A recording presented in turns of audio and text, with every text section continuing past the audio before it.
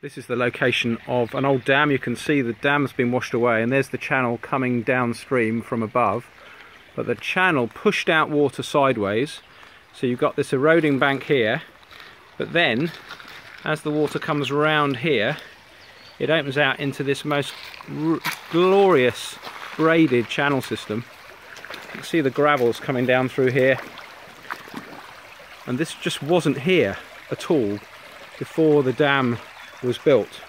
You can still see remnants of the dam here that were washed out during the last winter. But this is now an absolutely brilliant bit of spawning habitat for all sorts of fish, from bullheads all the way up to uh, brown trout and sea trout. Absolutely brilliant.